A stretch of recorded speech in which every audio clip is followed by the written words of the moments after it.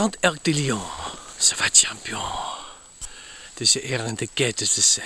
Anyway, I'm working for TVF, Television France, here in Scandinavia, doing my own self-taught extreme snow sports. Yes, I use my body flying through the air on the snow down the hills. Now, I don't know if there's rocks there. There could be uh, wolves or bears jumping out at me when I slide down this, the snow. But I'm doing it for all your pleasure. Yes, uh, I, want to, I don't know what to call it yet. I call it uh, as uh, uh, warrior snow, extreme snow, dangerous, the, the ski do dangerous. I don't know.